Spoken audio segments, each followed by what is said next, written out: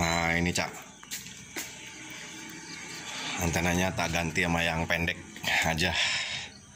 Karena buat monitor repeater aja. Sejengkal, dua jengkal malah. Dua jengkal kurang dikit dalam hitungan tangan saya tentunya. Oke kita coba analiser ya.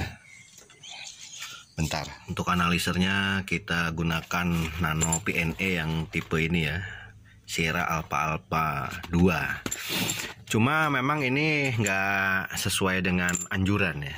Kita analisernya udah di dalam KR udah di di ini kabelnya disesuaikan. Kemudian juga ini posisi dikelilingi oleh metal ini.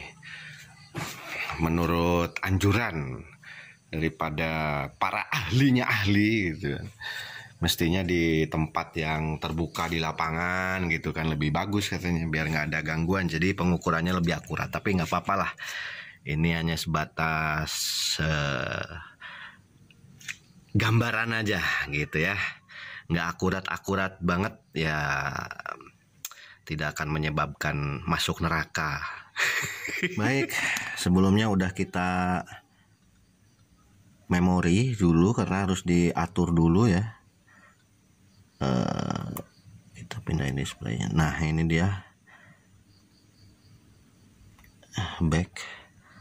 Terus ini uh, recall. Jadi udah dikalibrasi sebelumnya karena harus dikalibrasi dulu.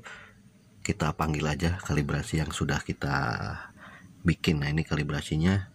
Dari saya set untuk pengukurannya dari aduh kok nggak ini ya nggak fokus rek ya dari 141 ya dari 141 MHz ke 148 MHz nah ini udah mulai fokus.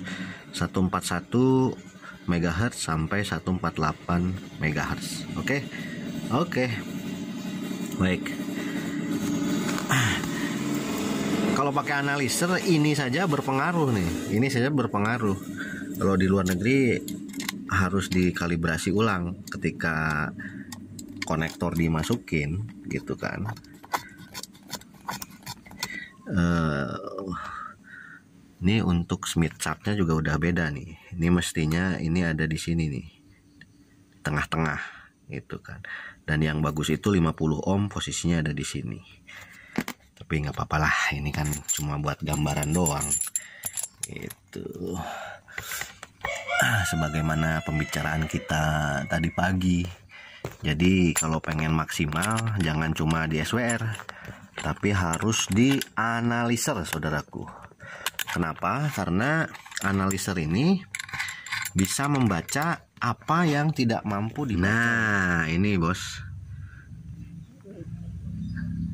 Ya anggap sajalah uh, karena tadi kan ketika pakai konektor ini dia posisi ada di bawah berarti ini sebenarnya ada di tengah nih kan sama kan tadi agak sebelah sini kan ya. Nah ini. Ini 50 ohm ini. 50 ohm. Gitu kan?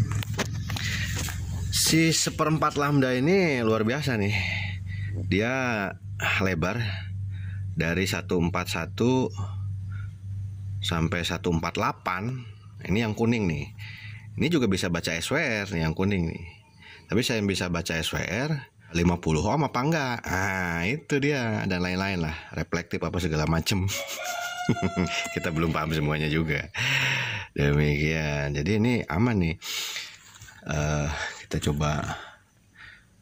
Ini di 142 260 MHz nih. 50 ohm 1,4 gitu kan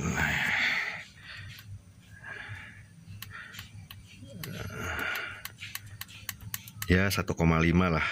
Dari 141 sampai 148 itu rata-rata 1,5 ke bawah. Itu kan jadi aman. Rendahnya di 1,3 1,3 nah, begitu. Karena kalau yang seperempat lambda ini konon katanya memang tidak bisa sampai 1.0 atau 1.1 gitu. Ini aja rendahnya maksimal di 1,3 itu jadi aman nih buat perangkat buat ini kan. Rata-rata kan anten hitungannya 1,5 ke bawah. Berarti no bener nih berarti bener ini antena bagus untuk ukuran yang seperempat lambda. Demikian terima kasih